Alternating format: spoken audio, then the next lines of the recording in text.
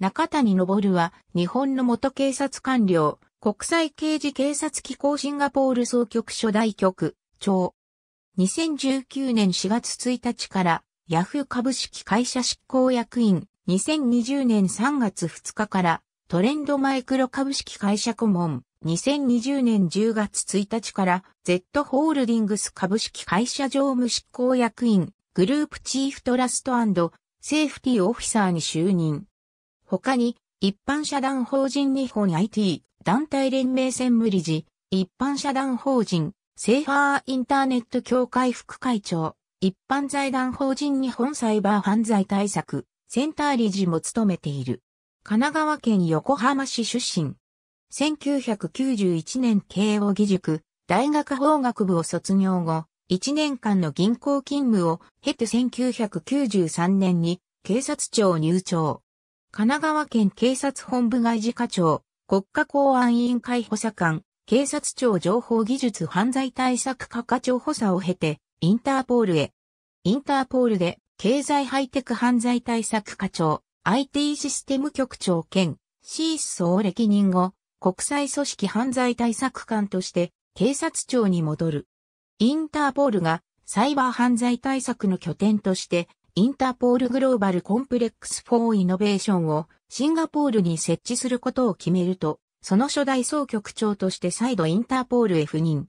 6年間の IGCI 総局長勤務後、国際課長として警察庁へ復帰。同年、インターポール執行委員に就任。2019年3月に退官し、4月よりヤフー株式会社執行役員として政策企画統括本部長を務め、サイバーセキュリティを干渉している。6月より一般社団法人日本 IT 団体連盟の専務理事、7月より一般財団法人日本サイバー犯罪対策センターも務めている。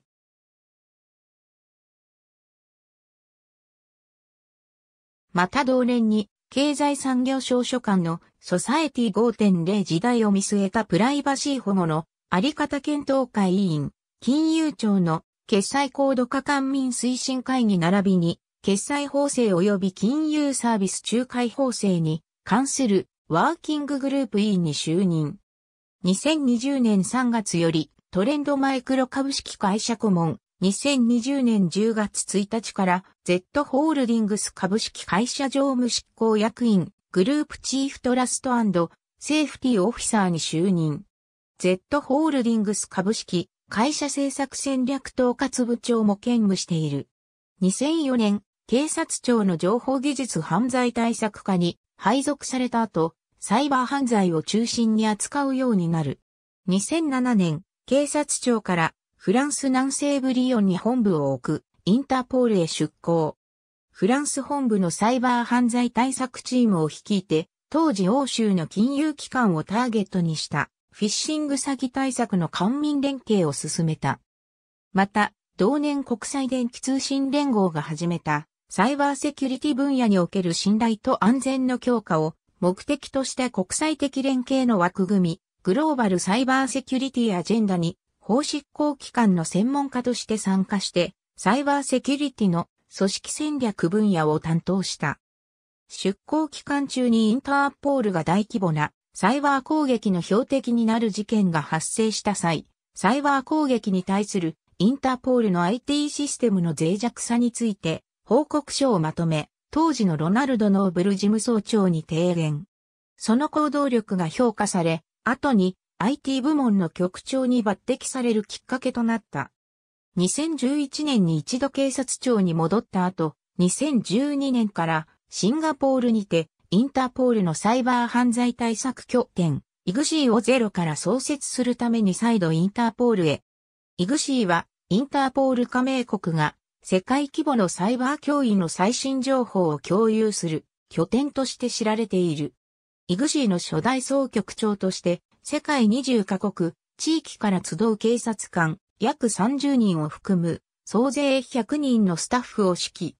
イノベーションインパリーシングを掲げ、イグシーをサイバー犯罪のみならず、テロや環境犯罪等国際的な警察協力が不可欠な組織犯罪対策の拠点に発展させた。2018年帰国後、警察庁長官官房国際課長、インターポール執行委員に就任。2019年4月、ヤフー株式会社に入社後、サイバーセキュリティ干渉の執行役員として、社内のセキュリティ体制の強化を図る。また、日本最大級の IT 業界団体である日本 IT 団体連盟の専務理事として、サイバーセキュリティ委員会新設にも従事。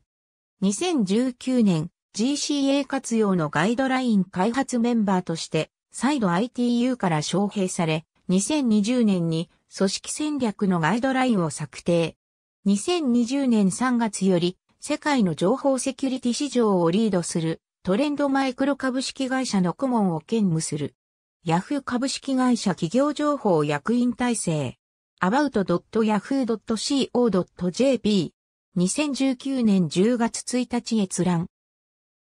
トレンドマイクロ、中谷昇氏と顧問契約を締結、トレンドマイクロ、トレンドミクロ、2020年3月3日閲覧。中谷昇一般社団法人日本 IT 団体連盟 www.itrenmei.jp 2019年6月3日閲覧。Interpol Global, Complex for Innovation opens its doors。2014年9月30日閲覧。中谷昇さんインターポール IGCI、Executive Director version 1。シンガポールスター。2019年12月23日閲覧。中谷昇さんインターポール IGCI、Executive Director version 2。シンガポールスター。2019年12月23日閲覧。中谷昇さんインターポールイグシー、エグゼクティブディレクターバージョン3。シンガポールスター。2019年12月23日閲覧。初代総局長は日本人、インターポールのサイバー部門に潜入。現代ビジネス。2016年11月9日閲覧。中谷昇氏、ICPO サイバー犯罪対策拠点の初代トップに日本経済新聞電子版。2015年4月7日閲覧。サイバーセキュリティに関する必要な方策を推進する。サイバーセキュリティ委員会設立新着情報。一般社団法人日本 IT 団体連盟。www.itrenmei.jp。2019年11月26日閲覧。ありがとうございます。